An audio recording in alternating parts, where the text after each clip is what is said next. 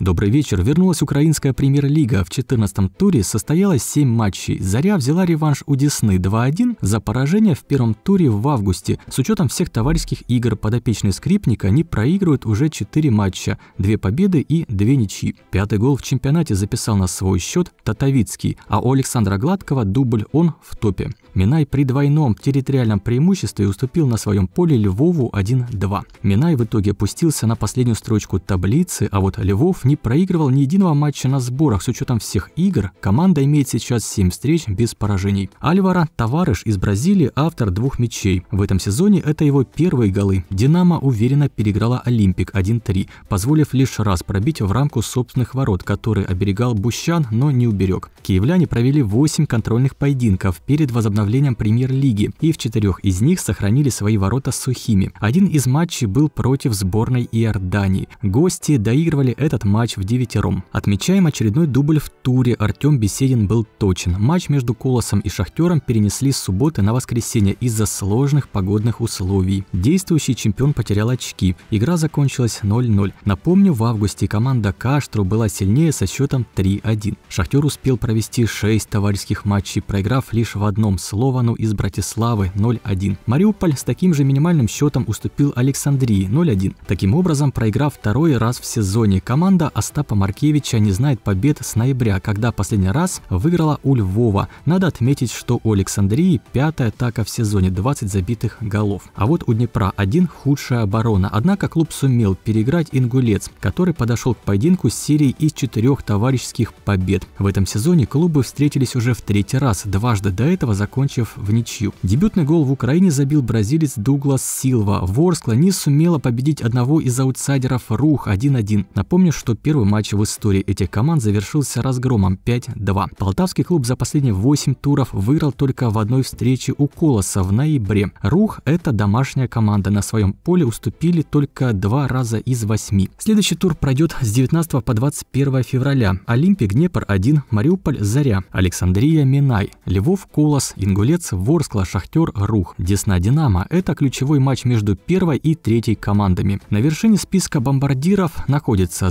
Захиди, Олимпик, Цыганков, Динамо, у которых по 8 голов. Нуриев и Гладкий имеют по 6 мячей. Ковалец, Александрия, Юрченко, Заря, Гуцуляк, Десна, Пердута, Ворскла отметились четырьмя голевыми передачами. Дистанция Динамо от Шахтера выросла до 3 очков. Оба клуба пропустили по 11 мячей. Однако горняки остаются единственной командой без поражений. Десна Красная Заря делят третье место по 23 очка, Ворскла – пятое, 21. У Александрии и Кулоса равное количество баллов по 19. В середине таблицы Олимпик, Мариуполь, Львов – 10. Здесь интрига. Днепр – 1, Ингулец, Рух и Минай разделяют всего лишь одно очко. Ставьте лайк, если информация была полезной и интересной. Рекомендую узнать, кто имеет самую длинную карьеру в сборной среди стран бывшего СССР. Еще услышимся.